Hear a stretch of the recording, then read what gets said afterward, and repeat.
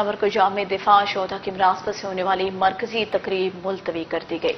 D G I S P R major general Babar Iftikhar की तरफ़ से समाजी रबते की वेबसाइट ट्विटर पर बताया गया कि मुल्क में आने वाले बदतरीन सैलाब से मुतासर होने वालों से इजहार यकजहती के लिए रावलपिंडी के जनरल हेडक्वार्टर में छह सितंबर को यौम दिफा, शोधा की मुनासबत से होने वाली मरकजी तकरीब मुलतवी कर दी गई। तर्जमान पाक फिजाई के मुताबिक पाक फौज के मुसल्ह बेमिसाल सैलाब से मुतासर हमारे भाइयों और बहनों की खिदमत जारी रखेगी।